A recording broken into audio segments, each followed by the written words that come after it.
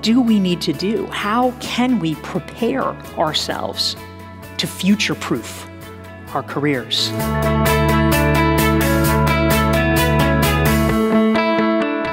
If we don't find a way to take control of our careers and to stand out, we risk being left behind.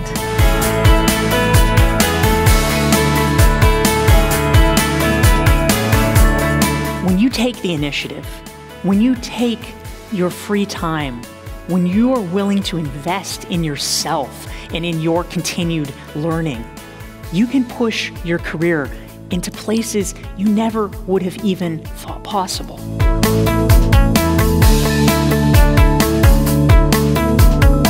The number one skill, the foundational skill that we all have today is adaptability.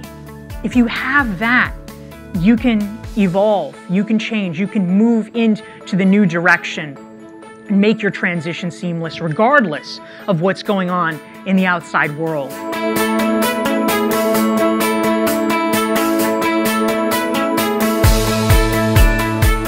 When you rethink what's possible and what's impossible, you can change everything.